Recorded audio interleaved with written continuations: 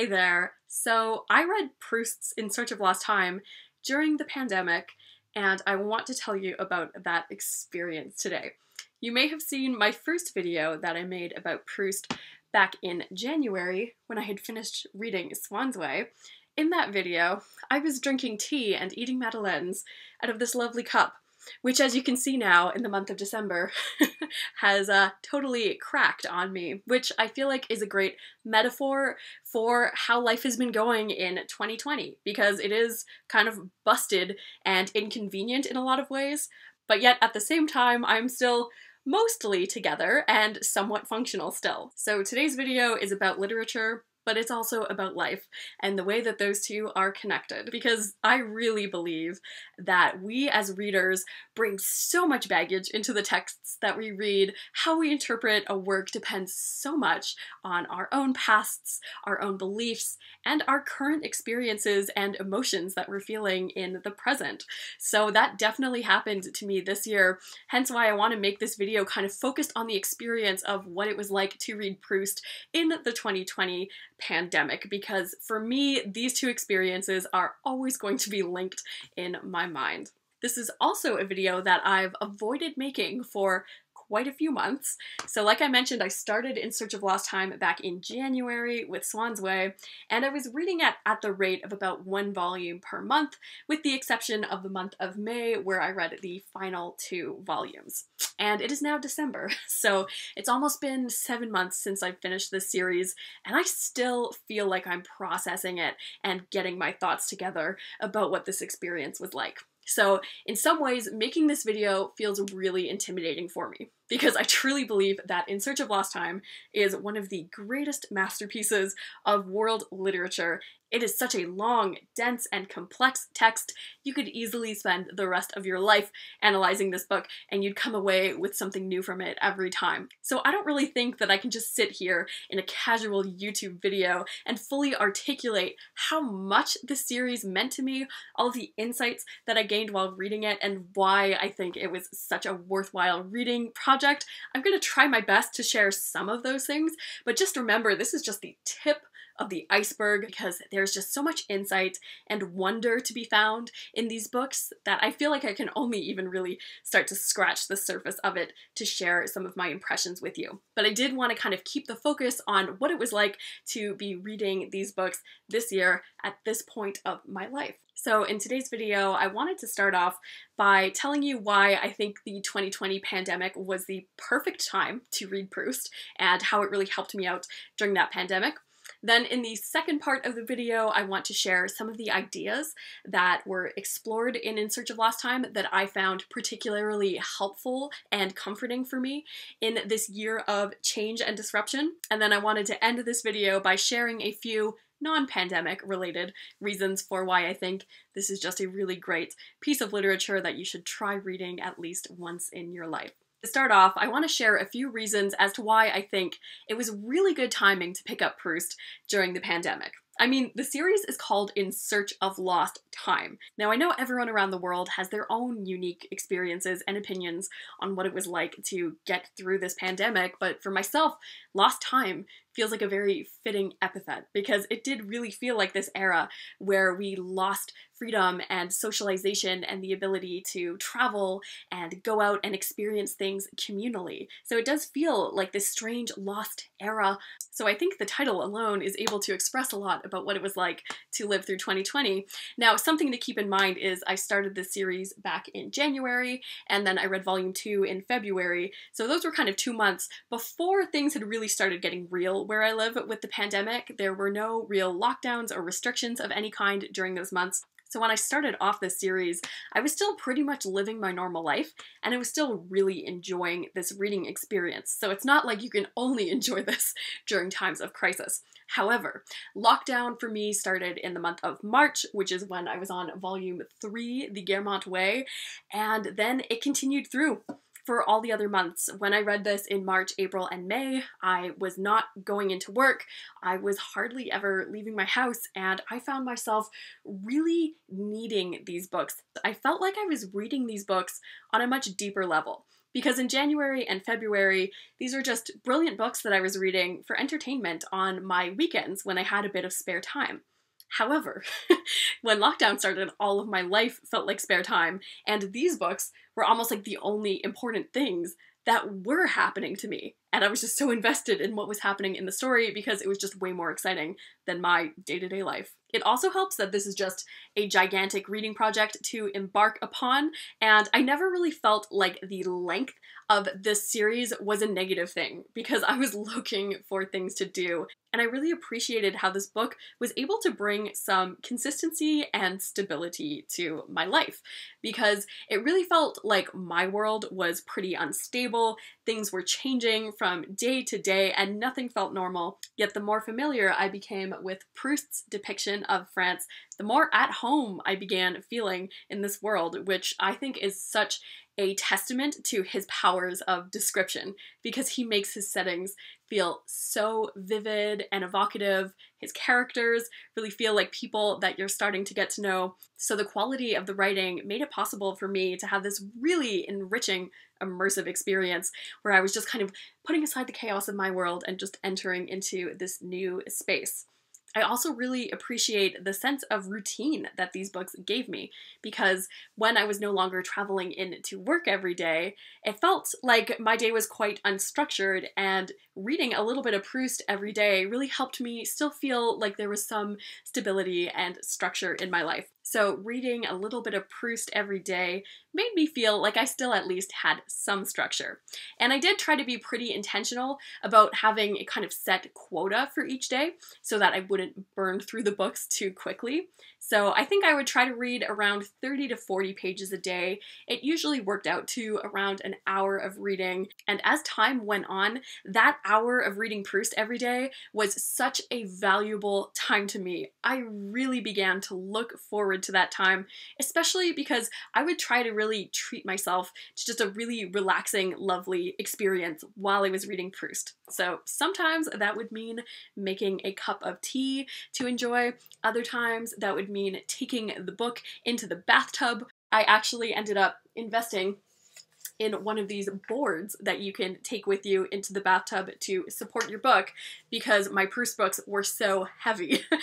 So, weirdly enough, reading Proust ended up becoming a major component of my daily self care routine. I also feel like my reading experience of this changed with the seasons. So, I have great memories of curling up during those freezing winter months under my blanket reading these books. But then in April and May, as the weather started to warm up, I moved into a new house and I had a balcony facing the trees. I'd read my book while listening to the birds and feeling the warmth of the sun for the first time in a long time. And I have such blissful memories of reading these books while watching life really spring back into action in those spring months. So rather than feeling like a chore, reading Proust every day really felt like a gift and it made me savor every page that I was reading. Another thing that I really valued about reading these books was how they provided me with such a rich interior life. I think it was such an important series to be reading at this time because Proust left me with so much emotional and intellectual stimulation. So, like I mentioned, I was only reading it for about one hour every day. But because the writing is so rich, you can really think about the passage that you read throughout the rest of your day and kind of reflect on what you had learned and to try to take what Proust was writing about and to apply it to your own life. So I found that my daily reading gave me a lot of things to like really ponder and think about, but it also gave me a lot of things to feel as well. So I think that was really helpful for me because I never felt bored at any point in lockdown because I was still having this really fulfilling and rewarding interior life while I was reading these books. And then, one final reason why I think it was good timing to read them during the pandemic is that so many of these books have to do with society and the social world. So, there is a truly wide cast of characters in these books, and by the end of the series, you really will feel like you know these people. For better or for worse, because a lot of them are pretty selfish and cold socialites. But still, because Proust focused so much on the experience of the social world, it did help me feel like I was still gaining some social interaction during those months. And it's not like I'm like delusional and I was like talking to these characters and pretending that I was at these parties, but it still did really help to be able to read these observations of these characters and the conversations that they were having with each other even though I wasn't able to go out and see my family or my friends or my coworkers or my students, I was still feeling like I was getting to observe these social worlds from reading these books, which I found to be kind of helpful. So those are just a few of the reasons as to why I'm so grateful to have read this series during this time of my life, because as you can see, they kept me busy, they kept me feeling comforted, and also it really gave me a sense of purpose during some really difficult months. So for my next section of the video, I wanted to share some of the ideas from the book that I found particularly comforting to read during this time period. Now, of course, there are a lot of big philosophical ideas being explored throughout this whole series, but there are five in particular that I want to focus on because they really resonated with me upon my first reading of the series. And these are all ideas that I found kind of made me feel better about my circumstances. The first idea that I took a lot of comfort from is one that I think is developed throughout this entire series, and that is change is constant. Because I think what felt a little bit scary about the pandemic is that it felt kind of on the scale that was unprecedented. So it felt like change was kind of scary and we didn't really know what was going to happen from day to day. But you can totally see these same sort of issues reflected in many of the volumes in this text. Um, even especially in the last volume, it's set after World War One is ending and the world is dealing with the Spanish flu pandemic. So I think that these books are really documenting a huge time of change, and that is the turn of the 20th century.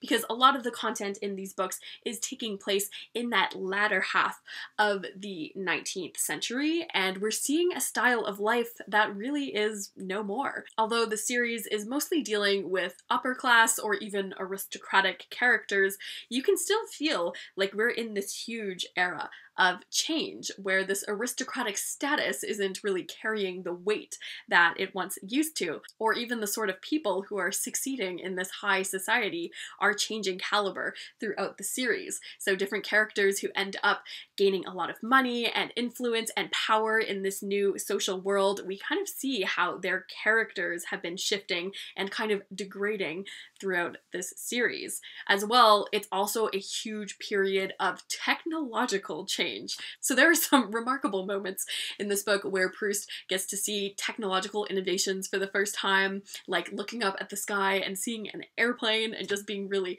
rattled by that experience. There's sections in here that go over how freaky the telephone is. So you can see he's really at this brink of technological change. The way that people communicate and live their lives is totally on the verge of completely shifting. There's almost a mournful tone because he is someone that's living in a bit more of a modern present, looking back on those years of his childhood and his youth and kind of reflecting that maybe because things are faster and more convenient, it doesn't necessarily mean that they are better. You can also see, of course, that these books are dealing with some of the major political changes that were happening during this time period, especially when you get to the final volume and it's taking place after World War One, which was one of the hugest changes ever that affected so many people in Europe and how they ended up living their lives and going forward in the future. So it is kind of haunting reading this book from your like 21st century perspective and there's kind of minor hints towards things that you know are going to be such huge factors in these characters' lives and things that still have implications in our present day. So, what you can see going throughout these books is that our world is always constantly changing and shifting, and that's really part of what we're doing is trying to adapt to that without forgetting what we've gone through in the past, but still finding ways to keep up with that momentous change. And I think that leads into my second idea, which is that the self is also growing and shifting. So not only is our world completely always on the go, but so are we. And Proust does a really interesting job of showing us how throughout our lives we are many different people, and we are kind of always dying and being reborn without really consciously realizing that.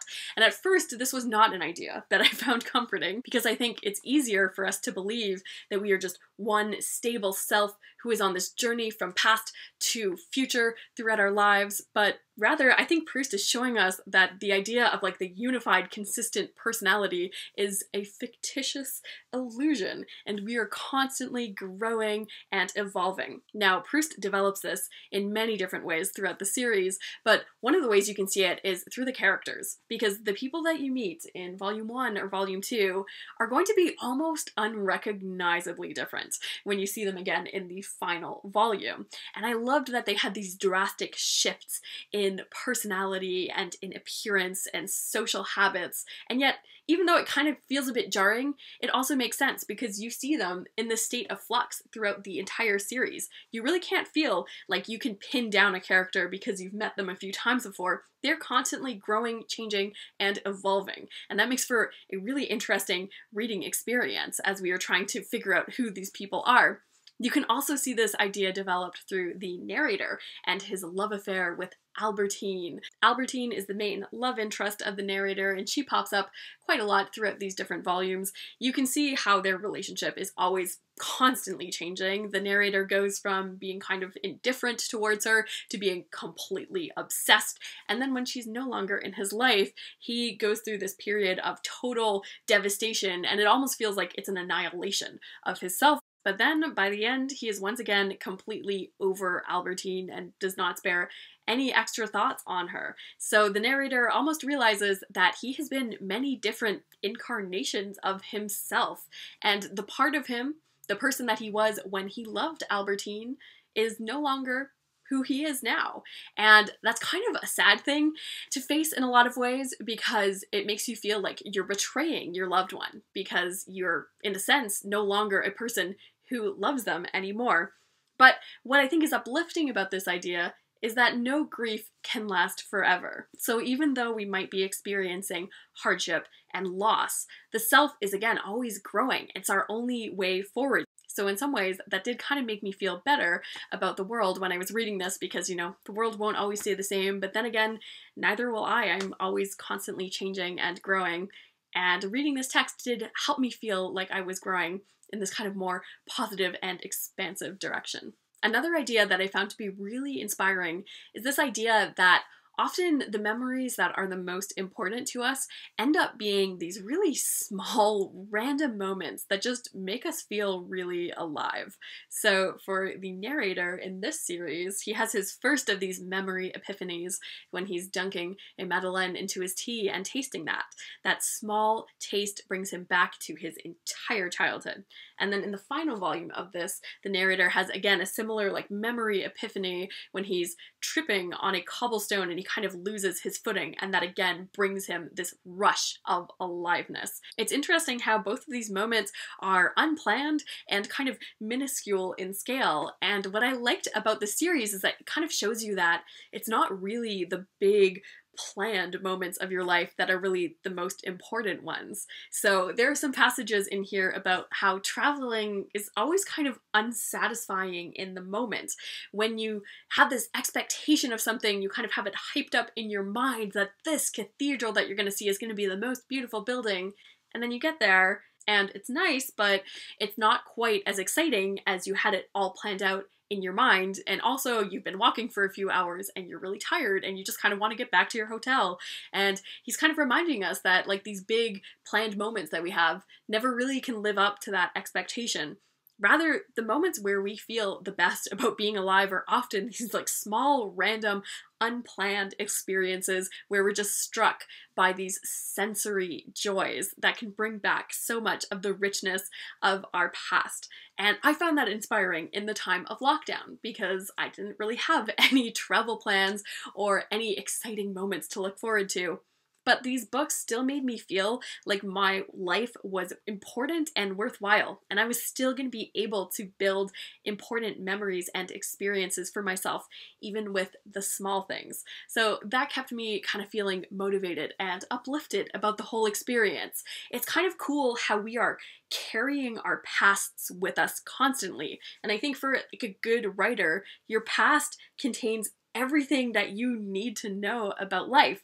Now, we don't always have access to the richness of the past. And like Proust mentioned, the self is always changing, so we may not remember the person that we were, but we are always kind of carrying these different versions of ourselves, these different memories that we have, the way that we felt about the world. It's kind of all traveling with us. And we should really cherish the things that will allow us to have access to those rich stores of our past experiences. To connect with that, I really appreciate how Proust wrote about beauty in his books because, again, it's not always the big, stunning things that are the most beautiful, but he has such a way of capturing so much of the beauty just inherent in everyday lives, in the different roads that you walk down every day and you kind of know in your memory, like the back of your hand. I mean, there was a passage in Swann's Way about asparagus that made it sound like it was the most beautiful thing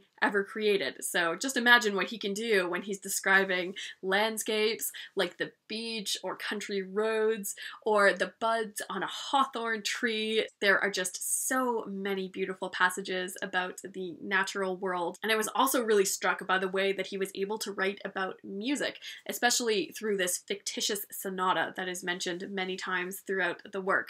But really, any time that Proust is describing a sensory experience, whether that is listening to a sonata and connecting the sound that you're hearing with the emotional turbulence that you're feeling, or it's looking at a piece of art and connecting that with your life. He does such a brilliant job of doing that. And I found from reading Proust, it inspired me to take a closer look at the world as well and look for all of these profound sensations that I could find, even in small everyday objects, which again was really helpful in that experience of lockdown when you're not able to go off traveling and looking for these grand sights, but you have to look for these experiences in smaller or more everyday experiences, but they can still be just as transformative and enjoyable. And the last idea that I wanted to mention is kind of more trivial compared to the other ones, but it's the idea that parties are overrated.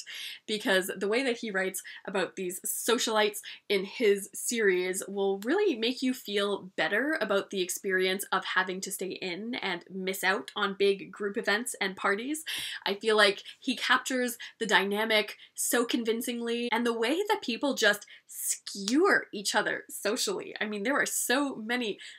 unkind moments that happen. Proust is also a master of dialogue, and there were quite a few very long passages in many of these volumes detailing what it was like to be sitting at a dinner party, and you would get all of the details of these conversations that people are having. And a lot of times he's kind of making fun of these people and the pretensions that people have trying to sound smart and cultured, the way that people talk about art and music, and they try to want to make themselves sound smarter by cutting down certain forms of art. So I feel like he does a good job of showing you how these characters aren't really being authentic to who they truly are in these social settings and how performative a lot of the conversations are. You can see that how the hosts of a party will talk when all their guests are there versus how they talk when they're just alone in private. And often that is a very unflattering comparison. So there's definitely a lot of kind of snarky social observations here. I feel like he's also able to capture just how boring a lot of these events are. These conversations that have these recycled ideas and opinions, especially because they go on at great length. So I felt like that was just quite enough dinner parties that I needed in my life, and it didn't really make me miss not being able to attend these big social functions in my real life because they were quite brutally depicted in this series. So to close off this video, I wanted to leave you with three reasons why I think it's worthwhile to read Proust at any point in your life, you know, not just to get through a pandemic. But the first reason that really blew me away with this series is that it just feels way more multi-dimensional in scale than any other kind of novel that I've read before. Now, I think part of that is because this book is just so long. So you spend so much time in this world and getting to know these characters that it makes every other normal sized novel just feel paltry in comparison. And what I loved about this is the characterization. Again, seeing characters at different points in their development, seeing how they change and their relationships change really makes it feel truly three dimensional because these characters are just so different every time that you meet them, and yet they're all kind of connected. In most other novels, you're just kind of with a character for a certain span of time, and there's really only so much that the author can do to develop that character. Whereas in this series, you really do get to feel this richness of getting to know like a real person almost. You see them at so many different points, they change so much, they feel inconsistent in a lot of ways, but in a way that also feels really true and lifelike. So it is so cool getting to read a book that is that huge in scale and able to capture that much about life. So I think that makes this project really unforgettable. My second reason for why I think it's so worthwhile to read Proust is that the world that he describes is hyper specific but it's also very easy to apply it to your own life. So even though this text is pretty specific, I do feel like it's universal in scope because he is dealing with these big factors such as desire and death and life and memory. All of these things are things that we're experiencing ourselves. So Proust as a writer does such a good job of writing with vivid detail but he's really writing about his own interior state, about what it's like to be a person going through life in this world. So I know a lot of people kind of like to cut up this series because it's quite bourgeoisie in values. And I know a lot of people don't like reading about rich people and their problems. And I understand being turned off by those aspects of the story. But I think even if your life is nothing like Proust's, I think that there are still a lot of things that you can take away from this novel and apply to your own life. Now, some of the things you're going to feel the same way about the narrator, but there are also a lot of ideas in this book that I didn't agree with. I didn't have the same ideas um, towards some things as this narrator did. And that's okay too, but it gets you thinking and it gets you defining your own values and how you want to experience and interpret your own life, which is a pretty worthwhile experience. And then lastly, for my final reason for why I think you should read Proust is that it just makes you see people and the world differently. I personally found the way that he's able to articulate emotions and thoughts is really unparalleled. I don't think I've ever read another author who is really able to capture the interior world of our minds in such a compelling kind of way. I also love the way that he writes about writing, or rather the compulsion that he feels to be a writer, or that any artist feels to share their interpretation of the world. I think that is what each arc in this volume is kind of showing. In Swann's Way, you see him experience the joy of reading and writing for the first time, of seeing something that is breathtaking and using writing as a tool to find out the deeper meaning that lies beyond these impressions that strike us. So a lot of us have these like beautiful, profound feelings in our everyday lives, but a lot of us lack the tools to actually investigate what's going on beneath the surface. Now, for Proust, writing was his way of examining the world and those feelings, and I loved that he was able to share that with us. And you can see that in the final volume, where the narrator finally realizes his purpose and he finally understands how he is going to become a great writer. So it's breathtaking to watch that happen and watch his development from a child who just knows that he feels these strong things to being an adult who knows how he's going to share those impulses and everything beyond that with other people. So it's just a really cool arc to experience, and I think it will change the way that you view the purpose of writing and literature and art in general, which is a pretty major shift to experience. So that's it for all of the topics that I want to cover uh, in today's video about Proust.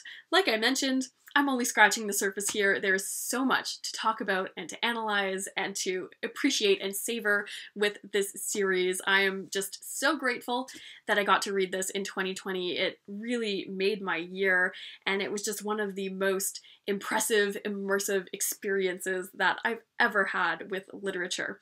So if you've made it to the end of this video, thank you so much for watching and listening to my thoughts. I'd love to hear it if you have also read Proust and you share any of these ideas or you have any other different insights that you want to share with me. I'd love to continue this conversation in the comments, but I'd also like to hear from you if you feel like you had a book that really helped you through a difficult time or this 2020 pandemic. I'm really curious what people were gravitating towards uh, in this period because I know that reading Proust is not going to be an effective coping mechanism for everyone, but I would really like to hear if there was some kind of literature in your life that did help you feel better about this time of intense transition and change. So that's it for today. Thank you so much for watching, and I will see you again later.